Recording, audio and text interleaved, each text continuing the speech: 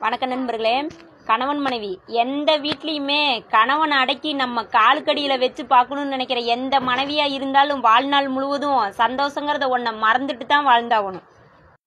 ஆண்கள் வாழ்க்கையில எவ்வளோ கஷ்டப்படுறாங்க அதை வெளியிலயும் சொல்றது இல்ல பெண்ணும் உணர்றது இல்ல ஆனா பெண்களோட கஷ்டத்தை மட்டும் பெண்கள் பெரிதளவுல யோசிச்சு வெளியில சொல்லிட்டு இருப்பாங்க. ஆனா ஆண்களோட கஷ்டம் அந்த கடவுளுக்கு மட்டும்தாங்க தெரியும். பெண்கள் வந்துட்டு தனக்கு பிடிச்ச மாதிரி ஒரு ஆண் மாறணும்னு நினைக்கிறாங்க. ஏன்? அந்த ஆணுக்கு பிடிச்ச மாதிரி பெண்கள் மாறி பாருங்களேன் மாறி பாருங்க. அவங்க உங்களை வாழ்க்கையில தோக்கவே விட மாட்டாங்க.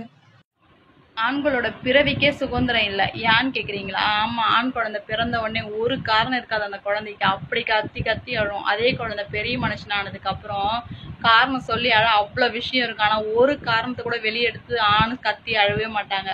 ஏன்னா நம்ம அழுதா நம்ம சுத்தி இருக்கிறவங்க சோகத்துல இருப்பாங்க சொல்லிட்டு போய்கிட்டே இருப்பாங்க. அப்படியேப்பட்ட வாழ்க்கை தான் ஆண்கள் வாழுறாங்க. அழுகுறது கூட சுதந்திரமே இல்லாத வாழ்க்கை தான். ஆம்பளைங்கெல்லாம் ரொம்ப பாவமான ஜென்மங்க. தன்னோட குடும்பத்துக்கோஸ்கரம் லோன் என்ற பேர்ல கடனை வாங்கிட்டு தான் குடும்பம் நல்லா இருக்கணும்னுட்டு ஒரு ஒரு மாசமும் அந்த கடனை கொடுக்க ஒரு தவி தவிப்பாங்க பாருங்க. மனைவி கத்த ஆரம்பிச்ச உடனே கதவு ஜன்னலெல்லாம் மூடுறவன் மனுஷன். டிவி வால்யூமை அதிகமாக வைக்கிறவன் பெரிய மனுஷன். சட்டையை போட்டு வெளியில் போகிறவன் ஞானி. காதில் எதுவுமே விழாத மாதிரி உக்காண்டிருப்பவன் வாழும் கடவுள்.